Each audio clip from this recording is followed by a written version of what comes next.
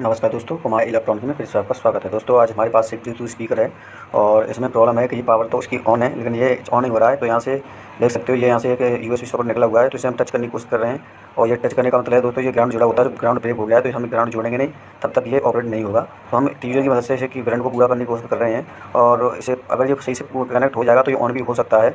और अगर ये सारी चीज़ें करने पर हमें ऑन हो जाता है तो उसमें कुछ और प्रॉब्लम है नहीं। यहाँ से हमें यू एस बी सॉकेट नया लगा देंगे तो ये प्रॉपर तरीके से काम करने लगेगा। तो जैसे कि आप दोस्तों देख सकते हो, मैंने टीवी को कनेक्ट किया तो ये यहाँ से ऑपरेट होने लगा। तो अभी हमें करना क्या है, इसमें हम नया यू एस लगा देंगे, बाकी का देखते हैं क्या हो सकता है इसमें। तो हम इस पर यू एस सॉकेट लगा कर सोल्डिंग अच्छे से कर लेंगे।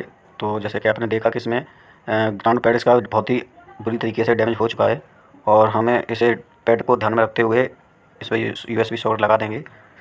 लगाने के लिए हमें अच्छे से इसको सोल्ड करना पड़ेगा, क्योंकि पैड पहले से डैमेज है और ये सॉकेट दोबारा से नहीं से रुकेगा। अगर अच्छे से मजबूती से सोल्डिंग हो जाएगी तो शायद ये काम करने लगेगा। तो अभी मैं, जैसे कि आप देख सकते हो, मैं दिखा दूँगा आपको, ये जो जैसे कि आपको दिख रहा है, ये टैग हैं।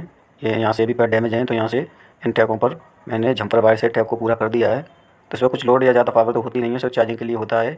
चार से पाँच वोल्ट तक की चार्जिंग लेता है ये तो उससे तो हमें कोई प्रॉब्लम होनी नहीं चाहिए। और बाकी का ये जो मजबूती सिर्फ़ इसके जो ग्राउंड पैड है ना, उससे हमें शॉर्ट ज़्यादा अच्छे से करना होगा, ताकि ये निकले ना। तो मैं ये देख सकते हो, इलाके भी देख लिया मैंने। तो फ़िलहाल ठीक है, फिर भी मैं दोबारा से इसमें शॉर्टिंग कर रहा हूँ, क्योंकि जितना ही ये मज़बूत तरीके से लगेगा, थोड़ा सा मैं ग्राउंड को लिए यहाँ फ्रंट लगी हुई है।